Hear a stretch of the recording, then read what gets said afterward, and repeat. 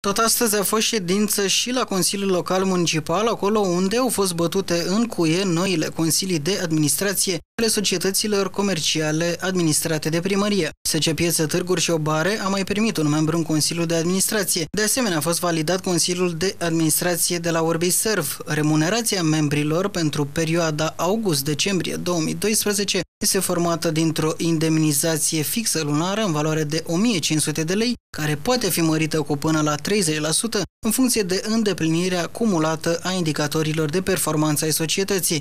Leafa directorului executiv va fi între 4490 și 5600 de lei. Dacă este cineva împotrivit, dacă se abține cineva, vă mulțumesc. Urma numărării voturilor, 21 de voturi valabile, 2 nule, următorii candidați au obținut următoarele voturi. Burada PD 13, Netărcu Ștefan 13, Stănescu Gabriel 14, Vasile Dragomir 13 și Dinu Idie 13.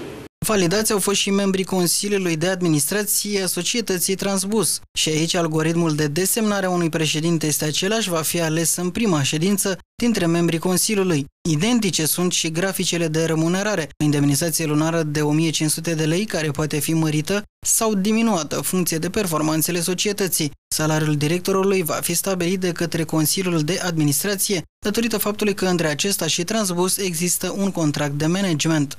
La proiectul de hotărâre numărul 8, supun atenției dumneavoastră eliminarea articolului 4 din proiectul de hotărâre, deoarece conducătorul unității are contract de management și atunci nu mai este salariul lui supus Consiliului Local, este supus Consiliului de Administrație.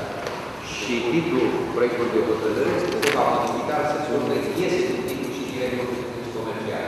Deci proiectul de hotărâre, așa cum îl supun votului dumneavoastră, este numirea membrilor Consiliului de Administrație a Societății Comerciale Transbus S.A. Buzău, precum și stabilirea remunerației acestora. Chiculescu Tiberiu 13, voturi Lazar Sorin 15, Lungu Romeo 13, Ulariu Vasile 13, Pușcu Alexandru 13. Și în aceste condiții, salariul directorului de la Transbus va fi unul destul de mare. Inițial, proiectul de hotărâre privind această societate conținea și stabilirea remunerației directorului, iar aceasta era trecută între 4490 și 5600 de lei.